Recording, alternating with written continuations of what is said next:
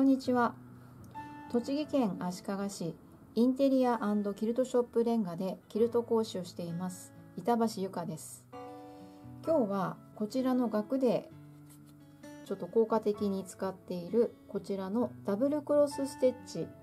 まあ、ギンガム刺繍の一部なんですがこちらの刺繍の仕方をご紹介したいと思います。この額長方形でちょっとこの今ご覧いただいているものの前に去年はこういった形で作品ちょっと作ってみたりもしてましてあのこれはまあ本当にクリスマス用で以前にもちょっとご紹介した、えー、ヨーヨーキルトを使って、えー、ツリーに見立てていろんなちょっとモチーフをつけてっていうことで仕上げています。でこちらは同じ額なんですけれどもピースワークをしてで刺繍それからあとちょっとポンポンをつけたりリボンをつけたりっていうことでもちろんこれからの季節に飾っておくのもいいですし割とあの先ほど見ていただいたクリスマス用のものに比べると季節問わずあの飾っていただけるものになってるかなと思います。この辺とかこの辺はリバティの棚チェック棚ローンのチェックそれからリバティ棚ローン、えー、棚ローンの黒の無地それから国産の生地などを組み合わせて、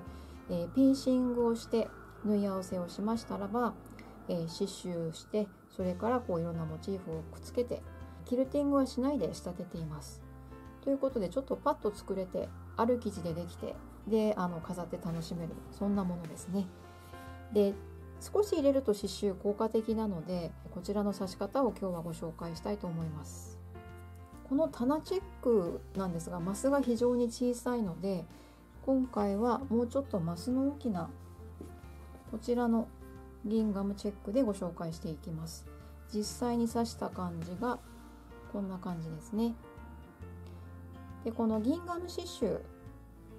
まあ、ダブルクロスステッチは図案をこちらに写さなくてもこの方眼状の銀ガムのマス目に合わせて刺していけるので刺し方を覚えておくと非常にあのちょっとしたパッチワークキルトのこう中でも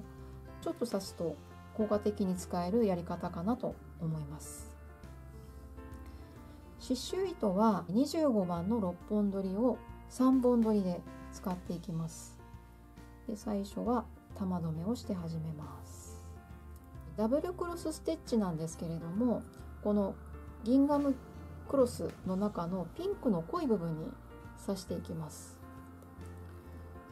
ということでまず右上の角から針を出します。で右下に入れます。で斜めにバッテン、まあ、斜めにとりあえず片方入りました。で次右上の角。こちらから出して左下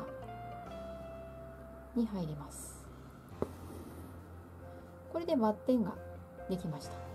でバッテンができましたら次は横ですね。だいたい目見当でいいんですけどちょうど半分ぐらいのところに来るところに左から入れて右にあ左から出して右に入れます。すいません。で次上ですね。縦に入ります。上の辺のちょうど真ん中に出したら下の辺のちょうど真ん中あたりに入れます。これでダブルクロスステッチ1マス完成しました。で1つだけやるんでしたらこの手順で大丈夫です。で連続して刺したい場合は今左上角から出しました。連続して刺したい場合は右下に入れてっていうこの斜めだけ先にまずやっていきます。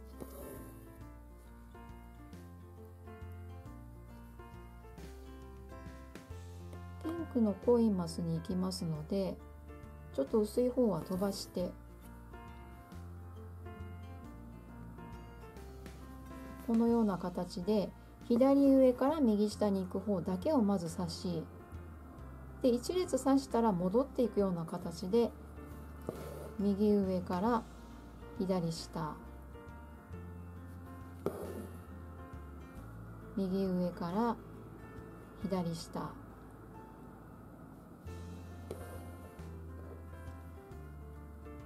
これでバッテンが終わりました。で横行きますので一番近い距離の横。でこれで横だけずっと行って縦で戻ってきてもいいですし横縦でやって次のマスの横縦でやっても構いません。横だけ。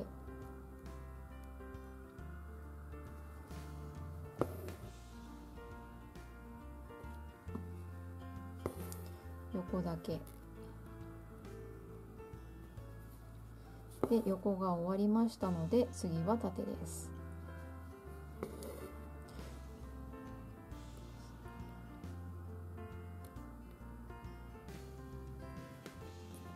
で次縦を上から下。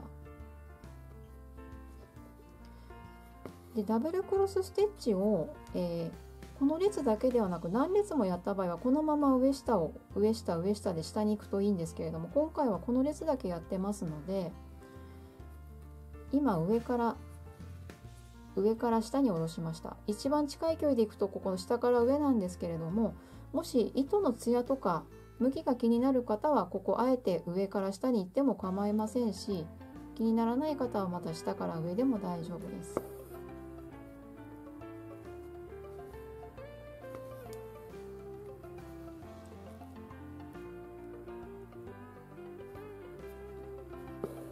でこれで上から下。これでダブルクロスステッチが完成しました。こんな感じですね。後ろから見るとこんな感じです。でちょっとここで糸を切ります。玉留めして糸を切ります。でこのような形でちょっと小さくて申し訳ないんですけども。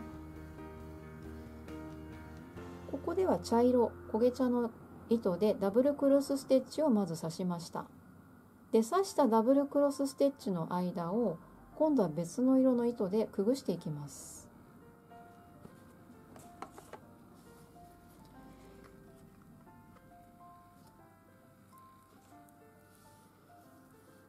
前もご紹介したかもしれないんですけど刺繍糸なかなか針通らない時にはクローバーさんのこのエンブロイダリー用の糸通しスレダー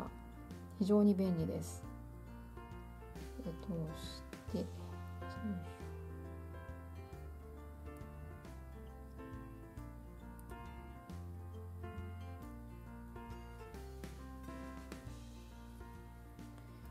これ抜くと通ります。結構あのなかなか刺繍糸入らないので刺繍をする時の何が大変かってあの糸通しだと思いますあのそれちょっと大変ねっていう方とっても多いので私も同感です。はい、でこの糸で色を変えてこのダブルクロスステッチの間を通していきます。でこの横に渡ってる糸のこの糸にかけるだけなので右側のダブルクロスステッチの横のここですねちょっと上の方から出しましたらこちら側に引っ掛けますで引っ掛ける時には針先の尖ったところで引っ掛けようとすると糸を引っ張り出してしまったり引っ掛けたりしますので針穴の方からくぐすとやりやすいですね。でここ引っ掛けたら今度こちら側の横に渡した糸の足に引っ掛けます。ということで裏には全然玉留めしかこの色出てません。で2回くぐします。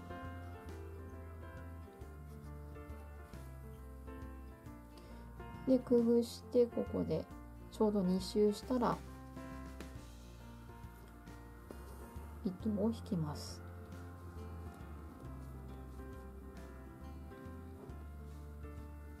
で次ですね。今度こちら側。糸を出してやはりあの針の穴の方からくぐしてでまたくぐして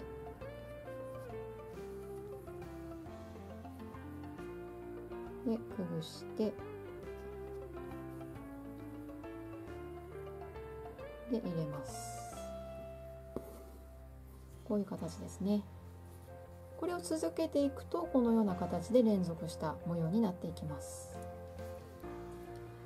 で今回の、え大きいギンガムチェックの生地では先ほどあの緑のモスグリーンのような糸は2回通していましたけれどもこれ2回ずつ通していたんですがこちらの額はマスが小さかったのであのこの黒の部分ですね。黒の刺繍糸は1回ずつで通しています。お使いになるその生地とかそれからギンガムのマス目の大きさによってその辺はご自分で加減してもいいと思います。あとはあの3本取りでやるのか2本取りにするのか、えー、そういったあの刺繍糸の本数も加減していただければいいかなと思います。ということでちょっとできると効果的な刺繍、えー、ダブルクロスステッチギンガム刺繍のあの一つの技法ですね。今日ご紹介していきました。で今日のポイント糸の引き具合ですね。あのこれは本当にあの刺繍やってると感じるんですけども糸の引き具合によってだいぶあの出来が変わってきます。ちょっと引きが強すぎるとあの布が釣れてしまったりあの歪んでしまったりっていうのがありますので、まあ、可能であればあの刺繍枠をつけていただくとやりやすいかなっていうふうに思います。まあ、あとはあの何度も何度もやって、えー、手加減で慣れていくっていうことも大事かなと思います。あまり気負わずちょっとこう出来上がりを楽しみながら過程を楽しみながら刺していただくのもいいのかなというふうに思います。えー、今日ちょっとギンガム刺繍のやり方をご紹介しましたがこちらの増沢先生のギンガムステッチの本参考にしています。あの非常にギンガム刺繍に関していろんな技法が出てるのでものすごくものすごく勉強になります。あの全部を取り入れるっていうのは難しいかもしれないんですけれども丁寧に刺し方出てますのでちょっとあのお手元にあると何かちょっと刺繍入れたいなっていう時のちょっと一つのアイデアがもらえるかなと思います。もしよかったらそちらもご参考になさってみてください。次回からも、まあ、こんな形でいろんな手作りえー、パッチワークキルトそういったことをご紹介していきますので是非気になった方はチャンネル登録をお願いいたします。えー、刺繍は本当にあのパッチワークとは違ったなんか優雅さがあるなというふうに感じました、えー、刺繍枠を片手に刺繍糸を刺す動作っていうのは本当になんとなく気持ちが落ち着くので是非気負わずチャレンジしていただけたらなと思いました。